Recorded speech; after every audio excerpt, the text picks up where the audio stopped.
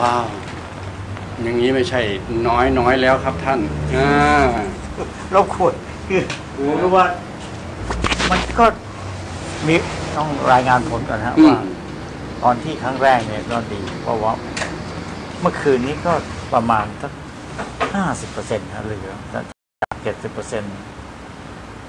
ที่คิดว่าหลังจากรักษาเป็นวันแรกนะฮะครับรู้สึกว่าตอบรับได้ดีสูงมากวันที่สองเนี่ยมันก็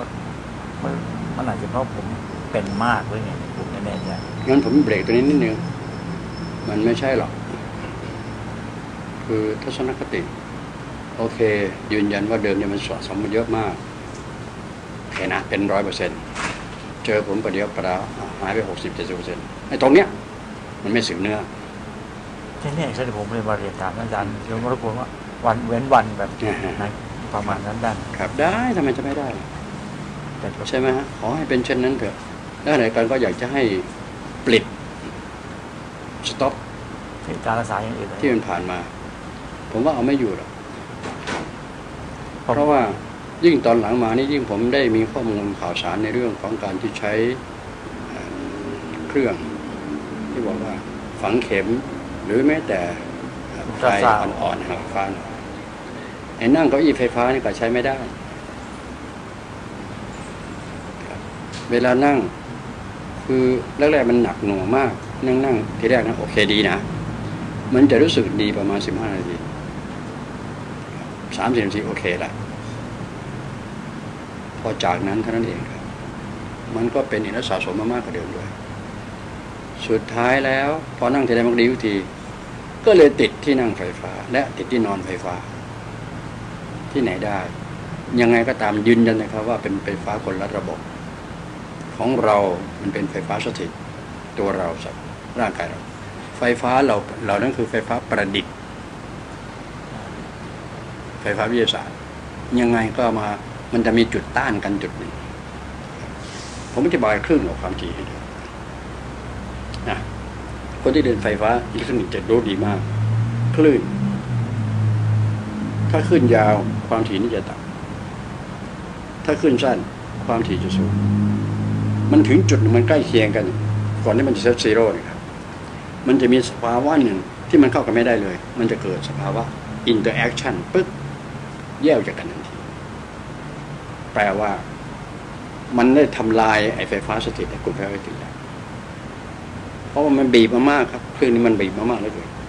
ถึงจุดนั้นนะไปไม่รอดแน่ fail อย่างเดียว ร่างกายทรุดอย่างเดียว เพราะว่าไปหลงว่าดีดี เพราะมันดีจริงรู้สึกสิบห้านาทียี่สิบนาทีไอ้พวกไฟฟ้า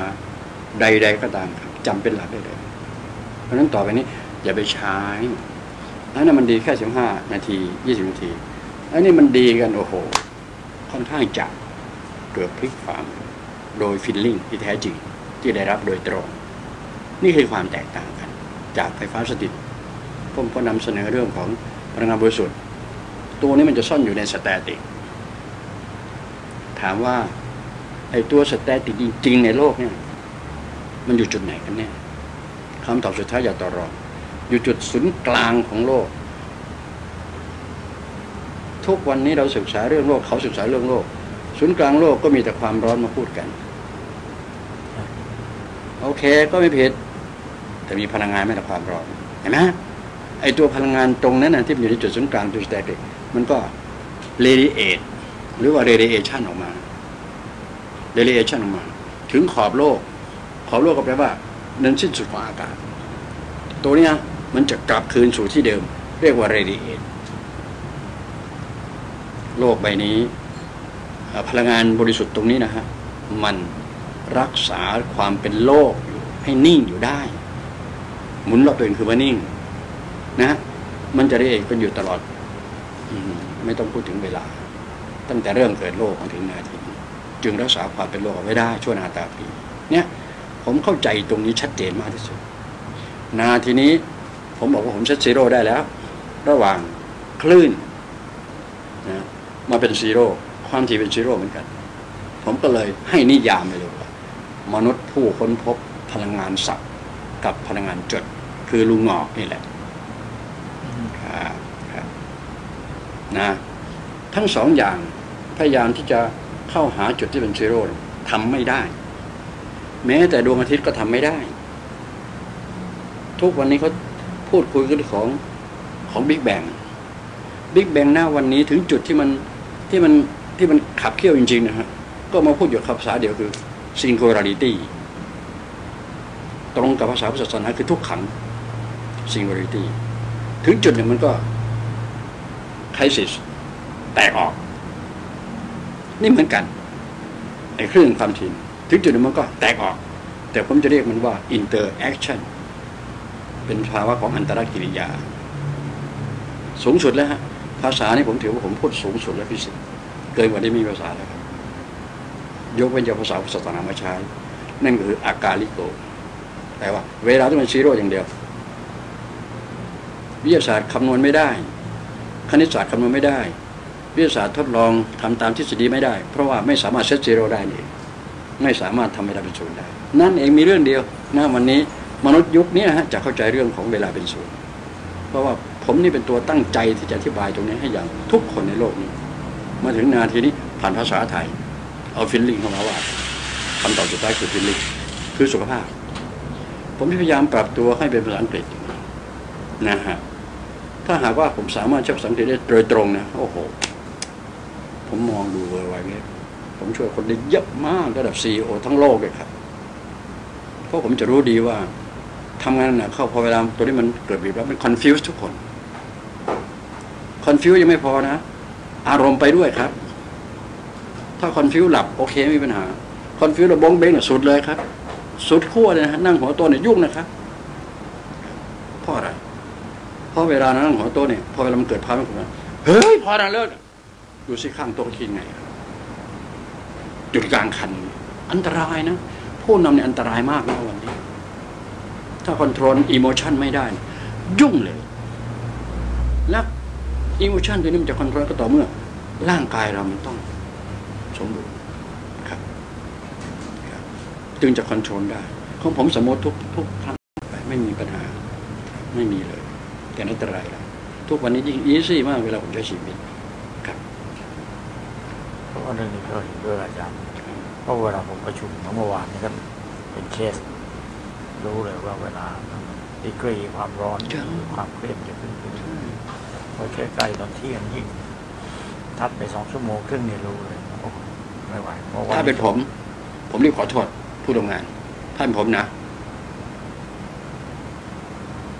ถ้าเป็นผมนะครับผมทุกขอโทษกลารขอโต๊ะเลย หรือรอบต่อไปขึ้นตัวด้วยขอโทษก่อน ใจก็จะจำไม่ดีส่วนมากแล้วหมายที่หนึ่งของโลก จะขอโทษมนุษย์ไม่เป็นแต่ผมก็คนที่สำเร็จใดๆก็ต้องขอโทษไปก่อนอันนี้ก็ผมก็ใช้เป็นบางจังหวะนะอ่าอาจจะใช้เป็นบางจังหวะ บางโอกาสอืมแต่ใช้บ่อยมันก็ไม่ใช่ leader ที่ดี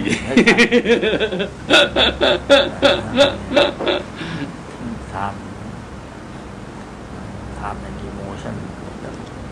เรื่องนี้เป็นเรื่องสำคัญ ครับ วั นนี้พนักงานเราก็ป่วยหลายคนระดับที่เนี่ยโอ้โหไปไปหาหมอไปไปต้องไปหาหมออยู่แล้วครับท่านสองมือเปล่านี่นี่ระดับ key man เนี่ยสำคัญที่สุดผมบอกอ้าวพัก งานไม่เสร็จไม่เป็นไรเอาสุขภาพก่อนเหมือนผมเงิน ผมนัดประชุมนี่ผมยังสั้นเลยแหละบอกยกเลิกประชุมไปสั้นๆไปสามยกก็บอกไม่ได้นะ key manไม่ได้นะครับไม่ได้นะ key man ต้องเอาทั้งกายทั้งใจนะดูใช่อืมเพราะว่าถ้าสุขภาพไม่ดีต้องหมดเลยครับแล้ว control emo ไม่ได้หรอกครับอืมคนที่ control emo ได้ต้องอริยบุคคลโสดาสกิทาอนาคาและอรหันต์เพราะว่าพวกนี้เขาจะเริ่ม set zero ได้แล้วอืมเขาไม่บวกไม่ลดกับใครอยู่แล้วแต่เขาเข้าใจบวกและลบสมบูรณ์และบริบูรณ์ครับของผลผมเข้าใจทุกมิติที่ว่าของสารนี่สำคัญครับเพราะมันเข้าถึงจึงเข้าใจโดยแจ้งนั่นเองเพราะฉะนั้น ไว้ใจเถอะครับ PE Peology for Healthcare เนี่ยมันจะไประดับโลกแล้วอ่าบ้านเมืองเราผมเสนอไปหลายเรื่องหลายอย่าง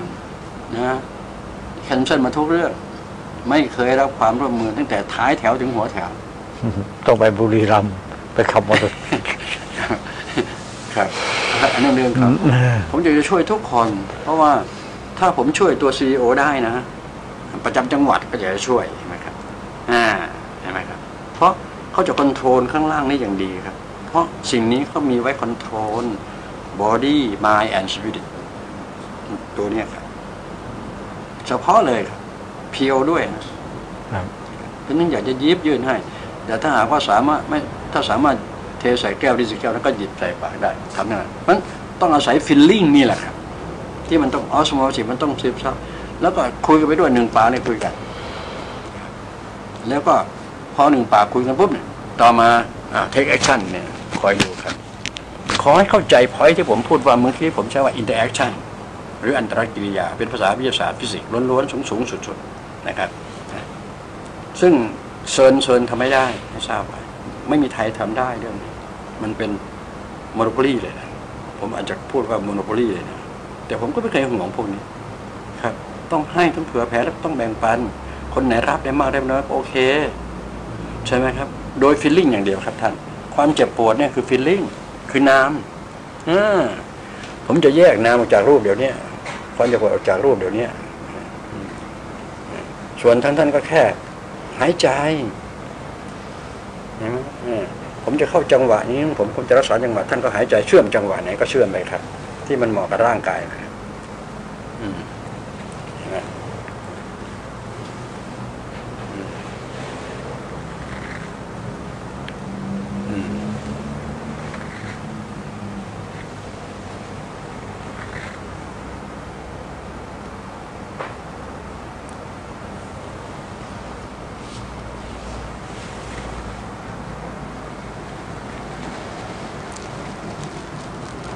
นี่แหละ ผมพูดถึงพลังงานศักย์เมื่อกี้นี่นะครับ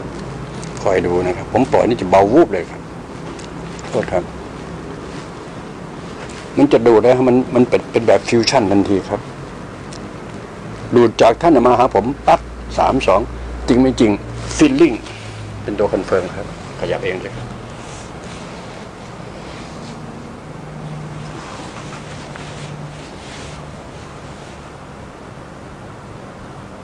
ในหลังนี่ผมปวดรู้สึกมันจะดีขึ้นนะด้านด้านด้านหลังครับครับตอนนี้ยังปรับนิดนึงแต่แต่แต่มันไม่มีความรู้สึกที่แค่นี้ก่อนอ่า get ห้าเปอร์เซ็นต์ก็ยังดีเก็บขอให้มัน get into โดย feeling อะใช่สองสามเปอร์เซ็นต์ก็ยังใช้ได้บอกไม่ทราบใช่อ่ามันไม่ได้มีความเจ็บเพิ่มเลยเมื่อกี้เนี่ยเห็นไหมครับ เพราะว่าผมก็เบาที่สุดที่เบาได้นะ ต่อไปครั้งที่สองจะดีขึ้นกว่าเดิมอีกเยอะเลยโอเคนะครับ โน้มตัวมาตามผม ตรงนี้มันก็คือ adjust พอแรงจะเข้าลงจุดเลยอือหือกับ movement ธรรมดาธรรมดาจะเป็นว่ายน้ำก็ใช่อย่างนี้นะนะอืมอืม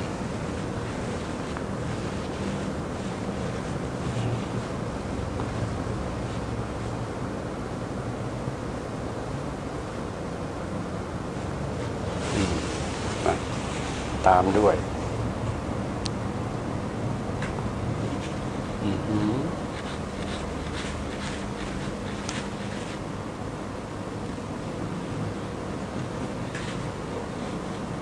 อือหือโทษครับเอิบหายใจเองเพราะตัวหายใจคนอื่นก็ช่วยไม่ได้เลยนะครับ เครื่องช่วยหายใจก็มันมันก็จะมาเบรกนะมาทราบไหมที่ห้องไอซียู ก็เลยตั้งออโต้ไว้ตรงนี้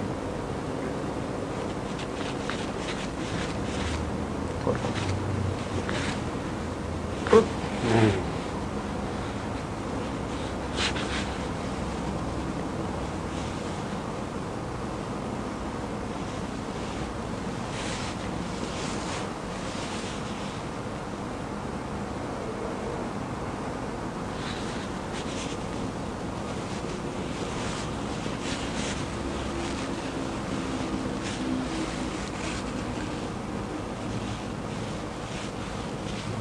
สังเกต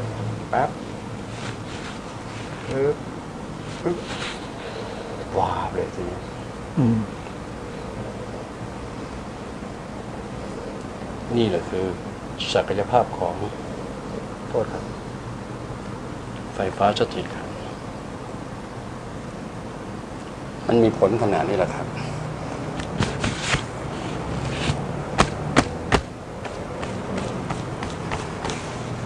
นั่นครับ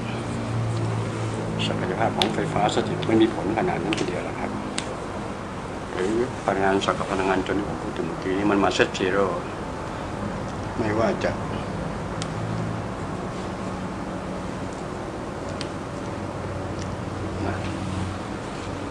ที นี่เอาโฟตอนโฟตอนผมล้างมือ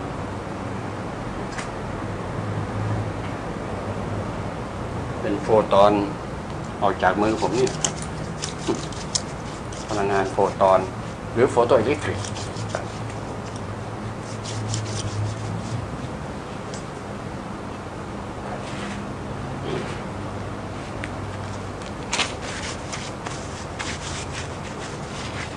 ผมใ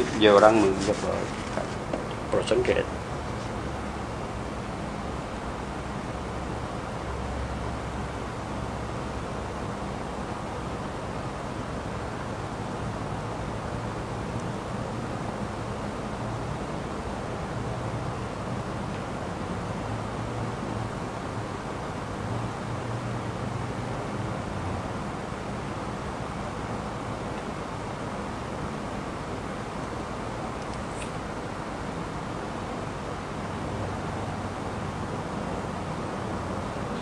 ามด้วย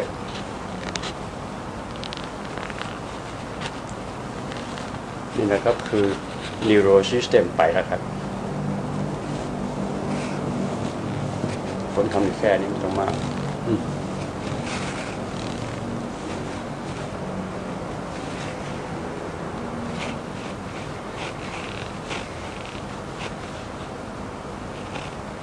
เมื่อกี้ผมพูดว่าโฟโตอิเล็กทริกแปลว่าเป็นไฟฟ้านะครับ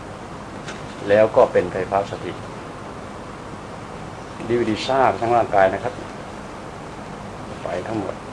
อืม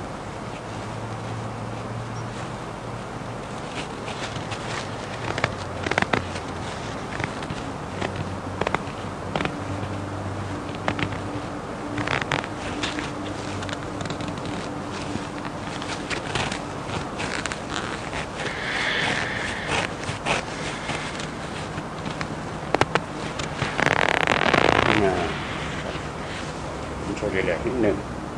เพื่อ ให้มันโฟล์ให้เร็วขึ้น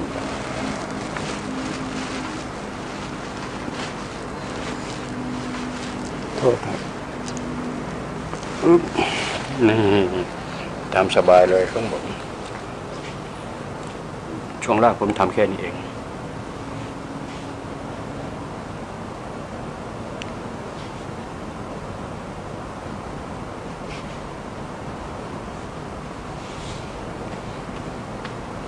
ผมก็มีข้อสังเกตนะครับตอนนี้ผมว่าจากสุขภาพผมทั่วไปนี่อืมการเดินเนี่ยผมว่าเอ๊ะ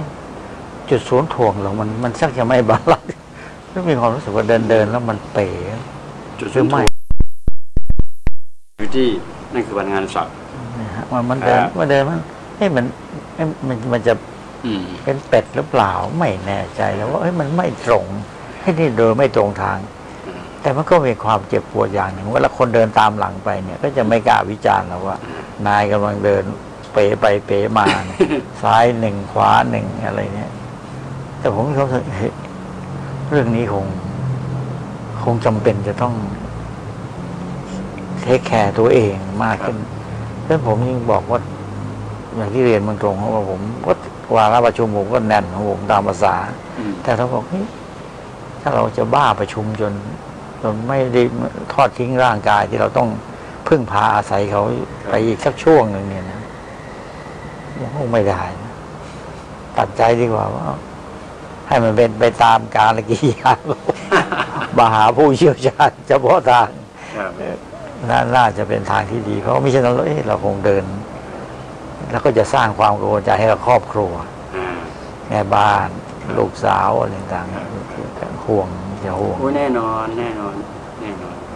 แล้วเรื่องนี้ผมไปเล่าที่ท่านอาจารย์จะไปไอ้แสงเหนือเนี่ยอ่าพวกสัตว์สนุนอืมโอ้โห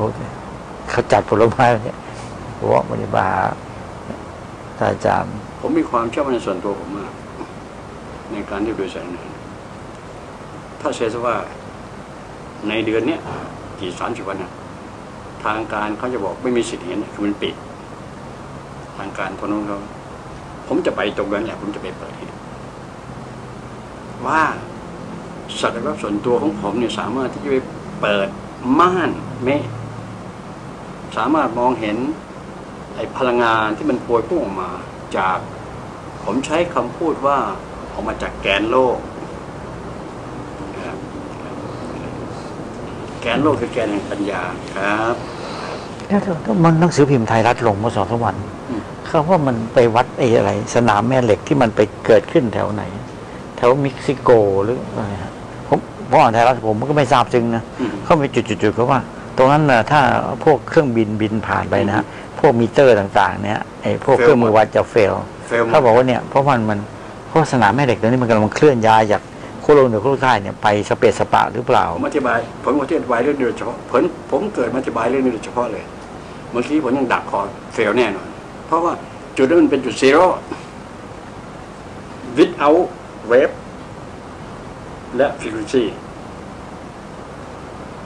นะผมเขาเขามันมันมันถ่ายมาไปจุดจุดจุดจุดจุดจุดขาวมันนะครับแต่เขาบอกเนี่ยตอนนั้นสนามแม่เหล็กต่างๆเนี่ยมันมันเจือจางผิดปกติ เพราะฉะนั้นอะไรต่างๆเนี่ยมันที่มาตรวัดที่เคยเขาไม่ปกติไม่ใช่ไม่ใช่ มาตรวัดมันไม่สามารถไปวัดขึ้นตรงนี้ได้ ก็พยายามพูดอยู่แล้วว่า มาตรวัดก็คือเครื่องมืออิเล็กทรอนิกส์ มันมาจากแบตเตอรี่โอเคไหมต้นกำเนิดของพลังงาน มาจาก DC AC ก็ AC ก็ได้ว่าพามาเป็น DC แล้วก็สายไปพวกถ่านแบตเตอรี่มันได้แค่นั้น คือไฟฟ้ากระแสมันได้แค่นั้น มันไม่สามารถเอาชนะไฟฟ้าสถิตทำไม่ได้ เพราะฉะนั้นบุคคลที่เข้าใจไฟฟ้าสถิตที่สุดของคนหนึ่งของโลกนี่คือผมนี่แหละกล้าพูดได้เลยนั้นก็เลยบอกว่างั้นก็ มันไม่ใช่ไปเที่ยว ยืนยันว่าผมไม่เคยไปเที่ยวไหนๆแต่ผมรู้ดีว่าทุกก้าวที่ผมเดิน ผมได้ผมสตาร์ทที่ทั้งหมดรอบกายผมโอเคไหมครับเรื่องอย่างนี้เรื่องนี้ผมไปเล่าเขาฟังครับเขาก็เห็นอาการผมดีขึ้นครับในระดับหนึ่งนะฮะครับเขาบอกเออเรื่องนี้ก็น่าสนใจ เพราะเขาอยากจะไปเพื่อนเขาเคยไปยังเคยเล่าให้ท่านอาจารย์ฟัง แล้วก็อ่านหนังสือไปพวกดาราบางคนก็ไปพ อได้เป็นฟ้าเปิดได้ไปเห็นก็ตื่นเต้นถ่ายรูปเซลฟี่มาอย่างเงี้ยอืมเขาบอกเรื่องนี้น่าสนใจ เพราะฉะนั้นผมบอกเอ๊ะหนึ่งให้ท่านอาจารย์ไปเดียวสนับสนุนท่านอาจารย์ไปเดียว ไปพิสูจน์ด้วยตนเองครับหรือไปพิสูจน์ด้วยตาตัวเองว่าเอ๊ะในสภาพที่ว่าเราเสี่ยงร้อยเปอร์เซ็นต์เนี่ยทิ้งต่างว่า ในฟ้าปิดหรือว่าในบรรยากาศที่ปิดเนี่ย แต่เราไปเปิดมันได้อย่างเงี้ย อันนี้จะไปเสี่ยงไหม หรือว่ารอให้โอเค ธรรมชาติมันเกื้อหนุน นะฮะไม่รอ ผมจะไม่รอ เพราะว่าอันนี้มันแบบเป็นเป็นเป็นคอมมอนไปแล้วตรงนั้นผมต้องทำในสิ่งที่มนุษย์ทำไม่ได้อ่าเพราะผมเวลาผมทำในสิ่งที่มนุษย์ทำไม่ได้มาตลอดนะ เรื่องเฮลตี้เหมือนกันอะอ่าอย่างนี้แล้วถ้าอาจารย์จะเอาไอ้เขาเรียกว่าอะไรฮะเป็น observer หรืออะผู้ที่ไปเป็นสักขีพยานอะไปไปไปร่วมด้วยหรือเปล่าโอเคนะ โอเคนะ โอเคนะ อะ โอเคได้แผนเลยครับ ผมนะให้มือหนึ่งลองคอนแทคสิฮะนะว่าจุดที่ว่านั้น ต้องมีประวัตินะว่า เดือนนี้ยังไงก็ไม่เห็น มันไม่เห็นอยู่แล้วสามเดือนหกเดือนไม่เห็นอยู่แล้วครับมันจะมีตัวไปแค่สองเดือนอย่างมากอย่างมากสามเดือน เนี่ยเรื่องมันเป็ดเนี่ยครับเนี่ยเราต้องไปพิสูจน์ตอนนั้นครับผมโอเคเลยไปเลย โอเคนะอ่าให้มือหนึ่งค่อยๆที่อยู่ที่อาศัยที่พักที่มูฟเมนต์เรียกว่าไป โอเคครับ ทวินวันไปเลยไป ไปพิสูจน์มันไปเลยเรื่องนี้อะให้มันรู้ไปเลยครับเออเออว่าเออศักยภาพส่วนตัวผมมันโอไหมถ้าโอมันจะได้ประกาศให้ทั้งโลกให้ได้รู้ว่า เอ้ย คนคนหนึ่งซึ่งหัวหงอกธรรมดาเนี่ยพูดเรื่องพวกนี้มาตลอด ผมยืนยันว่า ไม่มีใครรู้จักแกนของโลกดีไปกว่าคนชื่อลุงหงอกทำไมมันถึงเอียงนะมันเอียงเข้าสู่จุดไหนของของ ผมรู้ว่ามันเอียงเข้าสู่หลุมดำ ของกาแล็กซี่ไม่มีใครเปิดเผยด้วยแน่นอน ผมเขียนเรื่องนี้ไว้ในโลกแน่นอนสตีเฟนฮอว์เกนสู้ลุงหงอกไม่ได้หรอกอ่าอันที่เขาค้นพบหลุมดำผมรู้ที่อธิบายหลุมดำได้ดีที่สุดเอาเอาเปล่าอ่าโอ้ผมต้องอ่านเซอร์ซีต้องกินฮะฮะมนุษย์ผู้ซึ่งท้าทายหลุมดำอยู่เวลานี้คืองอกนี่แหละงอกตัวจริงด้วยกล้าพูดดังๆพวกนี้เพราะว่าผมผมจะรู้เรื่องนี้จริง ๆ รู้มากจริงๆเลยเรื่องของอุณหภูมิดินฟ้าอากาศของโลกเนี่ยไปโลกโลกใช่ไหมของเขาใช้เครื่องมือมากมายกับของเขาใช้ดาวทงดาวเทียมนะของผมมีแต่ตัวมือเปล่านี่นะจะบอกให้ทราบไว้เพราะทำไมผมจึงมั่นใจนักเรื่องนี้ต้องแจ้งเพื่อกรุณาโปรดทราบว่า เวลาผมทำสมาธิหัวใจผมมันหยุดเต้นอะเราเรียนไฟฟ้ามานี่คือวงกลมวงหนึ่ง วงที่สองพูดถึงคลื่น มันก็ยิงจากบนลงล่าง แล้วก็เฉียงมายังวงที่สองไปวงที่สามมันอยู่แค่เนี้ยเราก็รู้ว่าอ๋อนี่เหรอคลื่นแล้วความถี่มันสัมพันธ์กันอยู่เอาละสมาธิผมหัวใจผมเต้นปุบปับปุบปับไม่ต่างจากคำว่าคลื่นก็เป็นเผาโอเคนะ ทีนี้พอเวลามันปั๊บตัวเดียวคือตรงกลางมันจะมีแกนมันอยู่ เขาเรียกว่าเส้น intermedia ในภาษาไฟฟ้า เส้นกลางกลางถ้าเป็นแม่เหล็กก็คือขั้วที่สามของแม่เหล็กเห็นไหมครับ ถ้าเป็นพุทธศาสนาคือช่องว่างเป็นความว่างนะไอ้ความความว่างมันเป็นต้องใช้ zero จริงๆที่ได้ ไม่ zero ไม่มีทางโอเคนะเอาละหัวใจผมเต้นปุ๊บมันหยุดข้างล่างเนี่ยหยุดอยู่ตรงนี้อีกทีหนึงขึ้น รู้หมดทันที ร้อมกับการหยุดหายใจ ดูสิปอดกับหายใจปอดกับหัวใจ มันทำงานกัน หยุดพร้อมๆกัน มันสมาธิระดับนั้นนะลุงหมอไม่ใช่สมาธิที่มาพูดกันแบบล้อเล่นล้อเลียนนะเออเพราะฉะนั้นมันจึงจะรู้ไปทั้งหมดในร่างกายผม ผมจะรู้ทันทีว่าร่างกายผมประกอบไปด้วยอะไรแล้วก็มีสิทธิโดยชอบทำโดยชอบทำและโดยชอบทำเนี่ยอะ ย้ำคำนี้ใช่ไหมก็พยายามเปิดเผยเผยแพร่เผยแพร่เรื่องของคนที่เขาอธิบายผ่านพุทธศาสนา อธิบายมาหลายรุ่นคนแล้ว มันก็เข้าไม่ถึงสักทีหนึ่งผมก็เลยไม่ใช้ตรงนั้นคำว่าสุญญตาหรืออะไรเนี่ยอ่านั่นนะครับเส้นสุญญตานี่นะครับ ไม่ไม่ถึง ผมก็ไปเรื่องของ PE ซะนี่ Peer for Healthcare Peer for อะไรล่ะอ่าอยากจะบอกว่า main rainmaker ซะด้วยซ้ำไป ผมใช้ได้เต็มปากด้วย ผมนี่คือ rainmaker ตัวจริงอ่าอ่าอ่าให้รู้ไว้จะบอกให้ทราบไว้บอกล่วงหน้าได้ด้วยอ่าอ้าวถึงขั้นนั้นนะแต่เอาเถอะผมทำในสุ่มตัวส่วนตัวผมจะรู้เองกลับมาถึงเรื่องการพิสูจน์เนี่ยผมว่ามันน่าจะเป็นเรื่องหนึ่งที่ เราเราคงไม่เรียกว่าเป็นปาฏิหาริย์ใช่ไหมฮะครับมันมันเป็นธรรมชาติของของโลกอืมคือสิ่งที่มันมีมันเป็นอยู่แล้วครับแต่มีบางคนรู้บางคนไม่รู้ครับแต่คนที่จะรู้เนี่ยน้อยมากครับในโลกนี้มันน้อยมันเป็นความเป็นจริงครับมันเป็นความเป็นจริงของโลกนี้อยู่แล้ว แต่ว่าไม่ไม่มีใครไปรู้มันครับเหมือนสิ่งพระเจ้ารู้พระเจ้ารู้ในสิ่งที่เป็นจริงอยู่แล้วถูกต้องนะถูกต้องนิดหนึ่ง มาถึงตรงนี้นะฮะที่บอกว่าโอเคเราพิสูจน์กันโอเคทุนบันไป หรือเป็นคนที่สามก็ได้ไม่มีปัญหาเข้าไปด้วยครอบครัวก็ได้โอเคไม่มีปัญหา เอาล่ะ ทีนี้พอไปเป็นกรุ๊ปทีหนึ่งนี่คือนำพาสมาธิ ตรงนั้นนะฮะจะได้พลังงานกันมหาศาลนี่แหละผมจะ control สมาธิคนบอกให้ทราบว่า เอาจุดที่เป็นธรรมชาติเป็นตัวเอื้อนี่แหละครับ มันจะไวมากพลังงานจะไวมากเลือเกินไม่ต้องไปดื่มกินอะไรที่เขาคือฮากัน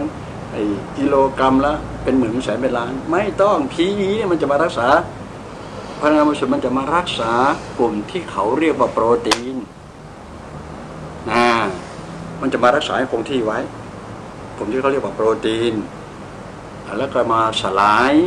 กลุ่มที่เขาเรียกว่าไขมัน มันจะเอาไขมันตัวนี้มาเป็น เอเนจีต่อไป มันจะ burn อะ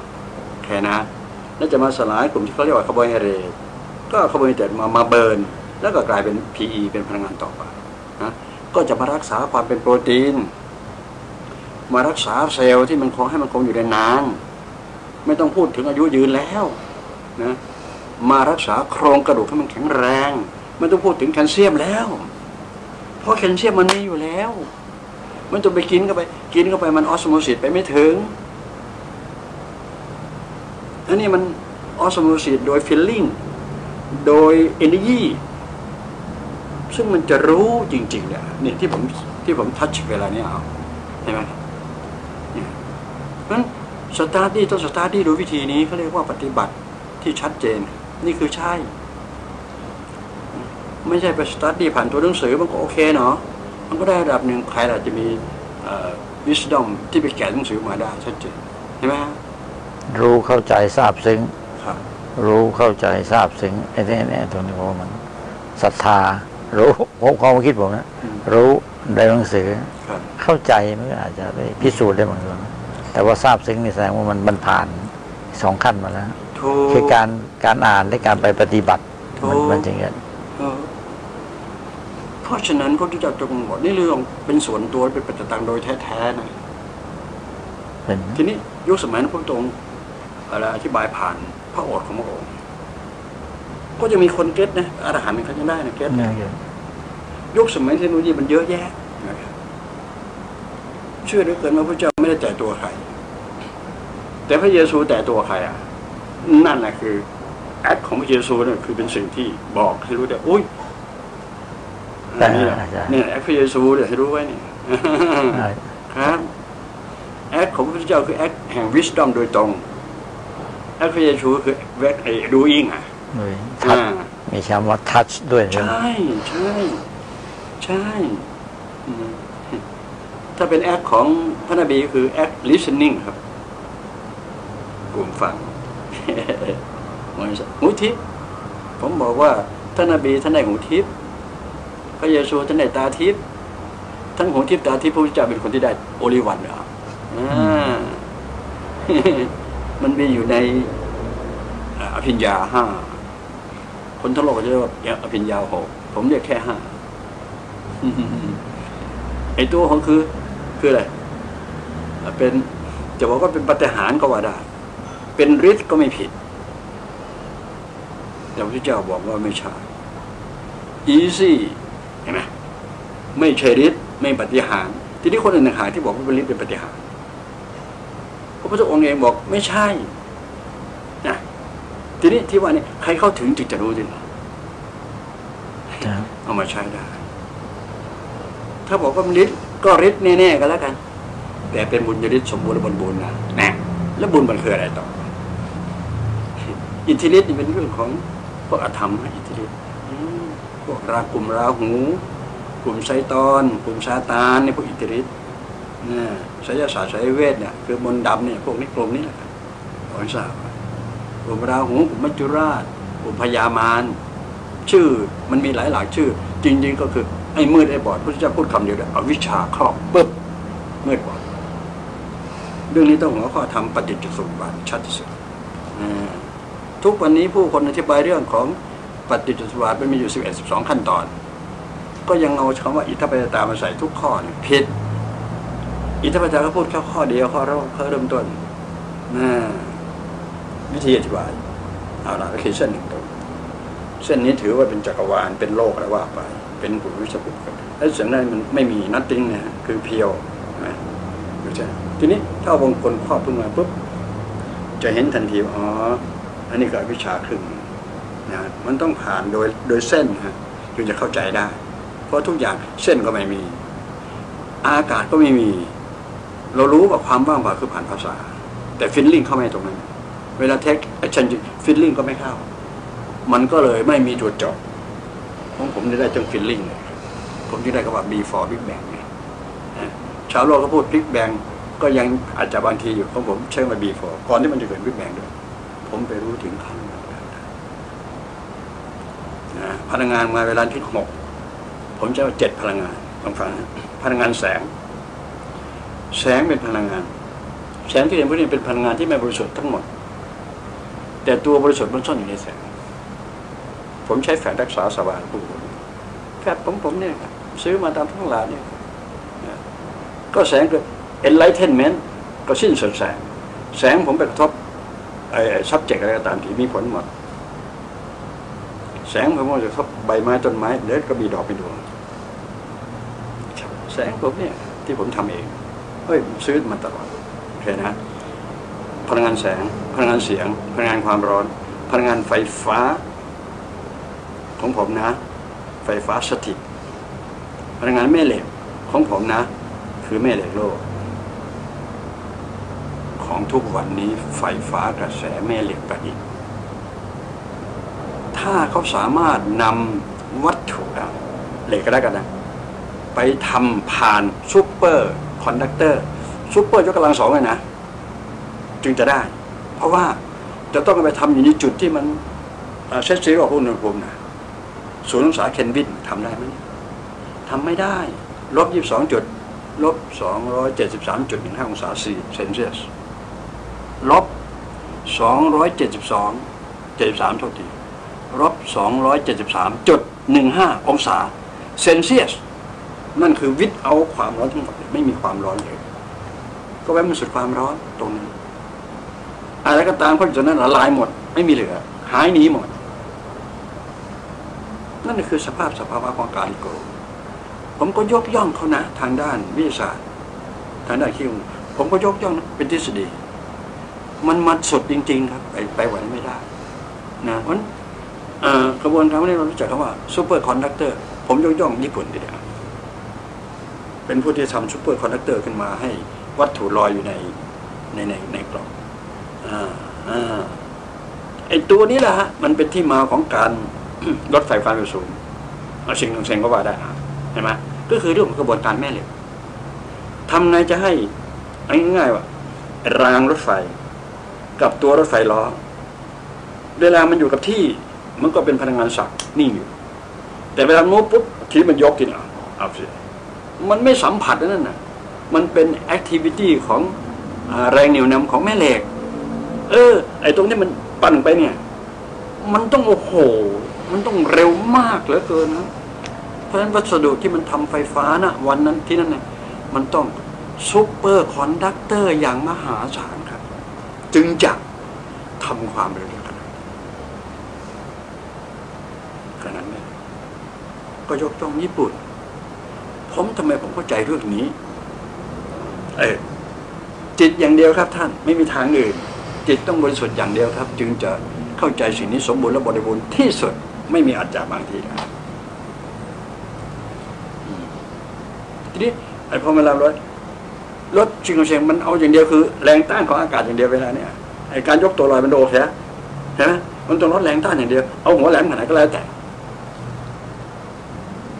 แล้วก็ แรงลอยตัวอีกเดี๋ยวเดี๋ยวเดี๋ยวบินเหนือรางนะอ่ามันต้องออกแรงกด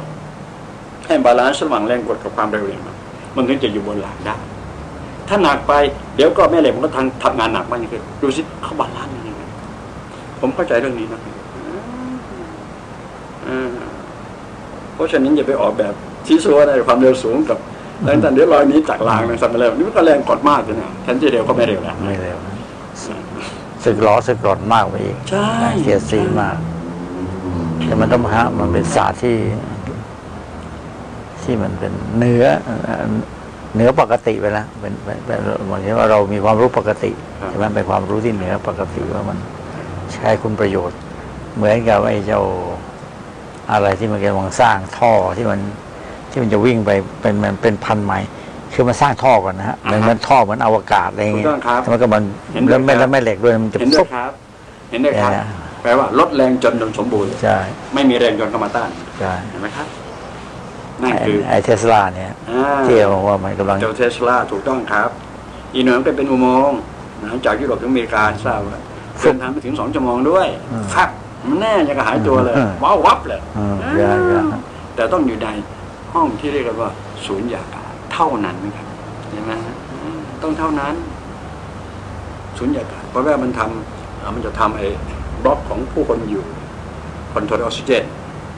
ทีนี้บล็อกที่มันเป็นอ่าตัวนี้นะก็กรอบอุโมงค์อะตัวนี้ต้องมีแกลบนี่แกลบตัวนี้คือแกลบสุญญากาศในแกลบในแคปของคนอยู่ ก็ต้องต้องมีอากาศเห็นไหมใช่ใช่แค่นี้เอง มันทำเป็นสองสามชั้นนั่นเองแค่นี้ทีนี้มันจะซีนน้ำทะเลได้แค่ไหนทีเนี้ยอะ ป้องกันเห็นไหมฮะจะผลิตได้แค่ไหนสนิมเราก็สะดุดที่มาใช้แหละอยู่ได้กี่ปีคุ้มทุนหรือเปล่าเนี่ยเป็นเป็นทุกเพราะฉะนั้นไอ้เครื่องบินไอ้ฝรั่งเศสกับที่มันกำลังหยุดไอคอนคอร์ดจำคนขอที่หยุดก็จะมันสูงอะมันน่าสนใจนะว่าผมนึกว่าเอ๊ะมีโอกาสว่าจะไปบินสักครั้งหนึ่งมันไม่มันสักสิบกว่าปีใช่ไหมมันทำได้สิบกว่าปีมันเจ๋งเลยไอคอนคอร์ดเนี่ยชุบไปแล้วผมยกย่องเขาตั้งแต่ ฝรั่งเศสก็จะมีความละเอียด แม้แต่ภาษาเขาก็ละเอียดแล้วผมไม่เคยเรียนภาษาฝรั่งเศสไม่ได้ มันละเอียดจนเกินไป มันจำถี่ยิบเลย ผมไม่ไหวแต่รู้ว่าความคิดเขาโอเคนะ โอเคนะ แล้วผมก็ยอมรับด้วยเรื่องของเรื่องของไอ้เรื่องเดี๋ยวนี้ผมยอมรับพวกฝรั่งเศสเรื่องของไฮโดรลิกนะซีตรองเลยนะไอ้นี่พูดยานพาหนะกับซีสตรองนะฮะแล้วก็ตอนนี้เขาเรียกแมกเนติกไม่ใช่เหรออ่าไอ้พวกโรงงานเนี่ยนะนี่ฮะ แล้วก็ออกแบบให้รูปทรงให้นึ่ให้มันต้านอากาศหน่อยก็คือมีวานที่ว่าเนี่ยดูสิปากมันยาวยิ่งไปเลยมันจะทิ่มอากาศเนี่ยเพราะฉะนั้นจะเป็นจุดแหลมที่จะให้ทำให้อากาศมันแบบน้ำเพียวนะเห็นไหมเพราะต้องลดแรงไม่ลดหาวิธีที่จะทำวัสดุอุปกรณ์ลดแรงต้านก็คือพลังงานจดไม่ได้ต้องมีความเสียดทานน้อยที่สุดเท่าที่น้อยได้ และความเสียดทานทุกวันนี้มันก็ต่อมาก็เรื่อง heat control heat ก็ไม่ได้ความร้อน อ่าอ้าวบินอยู่ในชั้นบรรยากาศที่มันต่ำกว่าก็ไม่ได้ไอมีราดต้องขึ้นนู่นต้องห้าพัน feet up นะอ่าอยู่เพราะต้องใช้ความเย็นช่วยอ่าที่จะไม่ให้ไอตัว body ของมันเสียหายเสียสีไม่ได้นะผมคิดถึงขนาดนั้นเลยผมไม่เป็นนักวิชาวิการหรอกครับแต่ผมเข้าใจเรื่องของมิติของดินฟ้าอากาศ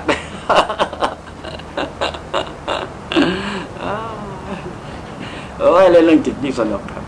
ใช่โอเคอารูปผมเนี่ยโอ้ยผมเล่นกับอารูปผมกระดานแต่เรื่องสีต่างๆเนี่ยเดี๋ยวถือโอกาสให้เห็นสีเดี๋ยวนี้ด้วยอ่าสีต่างๆเห็นสีเนี่ยดูสิมือผมสองงานจะพาเที่ยวเอกภพด้วยอ่าเดี๋ยวนี้ด้วยโอเคสิลองมูฟเลยครับครับมูฟครับคอตัวที่มีปัญหาไหลคอไป นี่คอยังมีอีกบออ่าเดี๋ยวยังมีอีกบอนี่นี่เอาเคแล้วผมไม่ต้องใช้เข็มความจริงผมใช้เข็มได้เลยนะครับ ผมไม่ทราบว่าเข็มเข้าไปลงไปภายในไม่ต้องแค่หัวมือก็น่าจะพอ เข็มก็ได้ ผมมีเข็มด้วยผมไม่ทราบว่านี้ดีกว่า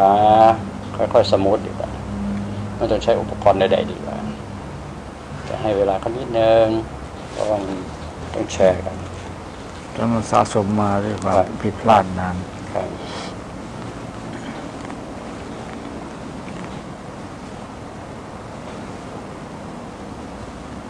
เอาแพลนเลยครอบครัวโอเค อ่า เอาเลยเอาเลยเอาเลยเอาเลย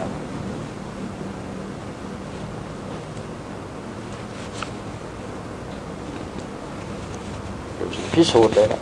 ไปพิสูจน์เลยอ่ายอมทุ่มสิเอาสุขภาพก่อนนะสุขภาพต้องได้ก่อนต้อง perfect ก่อนครับใช่นี่นะกำลังเนี่ยกำลังใช้ body ในการพิสูจน์ energy pure energy ก่อนอ่ามันต้องมีคำตอบตรงนี้ก่อนใช่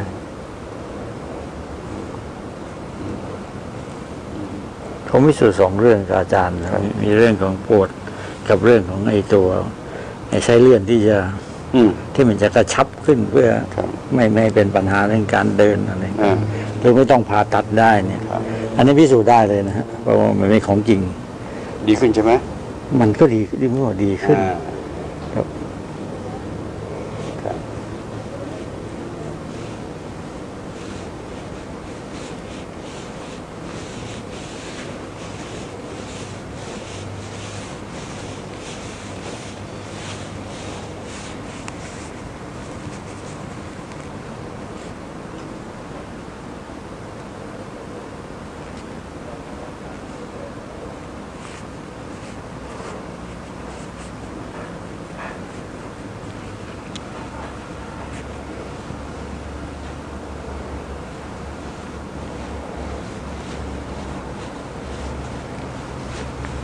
นี่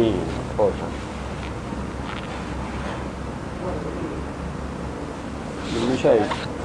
ก้ม เลยเอียงด้วยนะฮะบอกให้ทราบไว้ มันเอียงเดินั่นนเนี่ยเดินเอียงฮะครับเดินเอียงนะฮะเดินเอียงเดินเอียง มันจะหนักมาทางซ้ายด้วยซ้ำไปท่านจะดูซ้ายนี่ครับจะปรับซ้ายให้ทีช่วย ทางซ้ายจะเป็นคันที่หนักกว่าขวาใช่เท่านั้นนะครับที่ผมทำ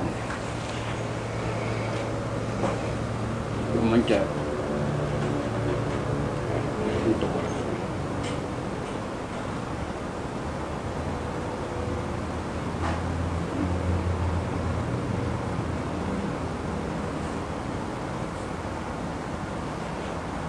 โทษครับปึ๊บปึ๊บมาโมดู สิโอไหมคนละเรื่องไหมหนังคนละม้วนไหมคนละเวอร์ชันไหม before after เนี่ยอัลเซอร์ก็คือจะฟีลลิ่งดีมากครับผมว่าอย่างนี้ฮะวันเว้นวันเนี่ยเราก็อะกระชัดกันได้ได้เลยครับพีเดียดก็ประมาณไม่เกินสิบวัน ไม่เกิน ไม่เกินห้าครั้งต่อวันเป็นวันนะอ่าจะได้จะพิสูจน์กันครับครับครับ แต่อย่างเงี้ยทำไมบ้านผมทราบซึ้งเนี่ยเพราะผมเป็นตัวเป็นหนูต้องเผาให้เห็นใช่ครับเพราะว่าอย่างนั้นแล้วเธอเธอก็อยากไปนะอืมเธอบอกเออน่าน่าสนใจนะอ่าบอกฮะก็บอกว่าบอกบอกคล้ายๆส่งสัญญาณมาว่า ก็ยินดีจะสนับสนุนนะบอกหรือว่าในนี่ใจผมขนาดนี้ปัจจุบันเนี่ยให้ท่านอาจารย์ไปพิสูจน์ด้วยตนเองกันแล้วหลังนั้น โอเคเอ่อด้วยสัจจะนะฮะด้วยความศรัทธาที่บารมีเนี่ย แล้วมาบอกพวกเราแล้วก็วันหนึ่งก็ไปกันหลาย ๆ คนเพื่อให้มันได้คนได้ว่าเหมือนว่าได้ไปรับพลังบารมีหรือเชียนเชียนแต่ไลฟ์ที่ว่ามันเปลี่ยนแปลงได้ครับ มันเป็นอย่างนี้ครับท่าน คนเดียวผมว่าผมมีความเชื่อมั่นในตัวเองสูงมาก ไม่มีใครเป็นประจักษ์พยาน มันก็ไม่ดี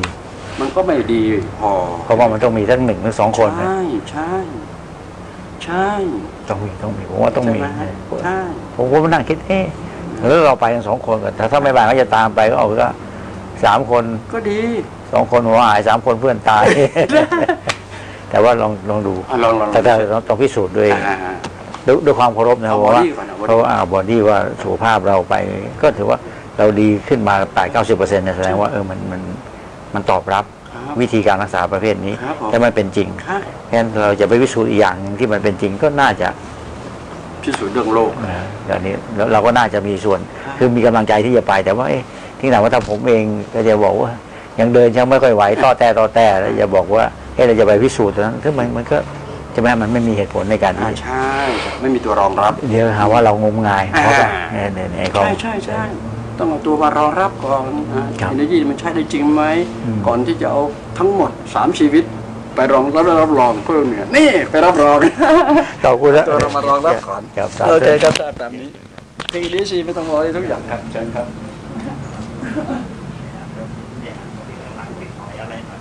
ผมคิดว่ามันก็แต่ว่าเนี่ยฮะโดนพลังท่านอาจารย์แล้วก็ทุกวันก็